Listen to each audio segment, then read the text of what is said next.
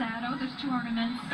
By the way, you know, Snoopy's Doghouse was first shown in the comic strip on September 4th, 1951, and it became a staple of that comic strip and the and the entire Charlie Brown series, and it's great to see everybody out there, Lucy and Linus. And Yeah. Look at Snoopy's dog bowl, though.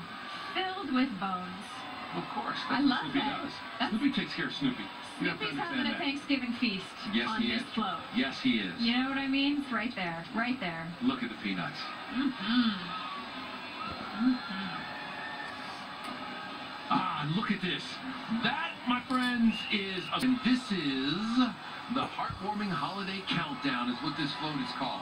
And because this is so heartwarming, she's got her family up there. You can see right beside her. Tracee Ellis Ross.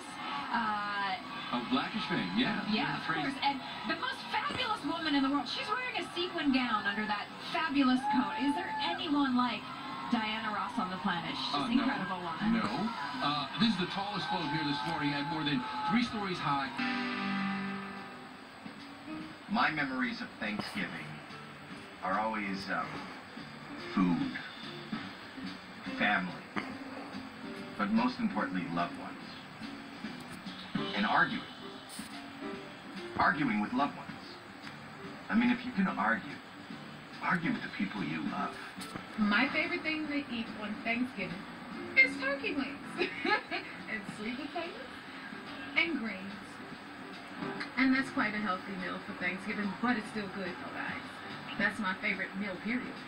Hello, America. I hope you and everyone else, your family, are having a great famous precision dance company in America. If you are in New York during the holidays, be sure to take in their amazing show.